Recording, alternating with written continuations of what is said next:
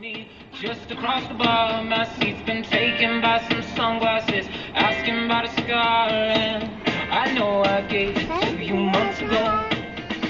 I know you're trying to forget but between the drinks and subtle things, the holes in my apologies, you know, I'm trying hard to take it back. So if by the time the bar closes and you feel like falling down, you home tonight.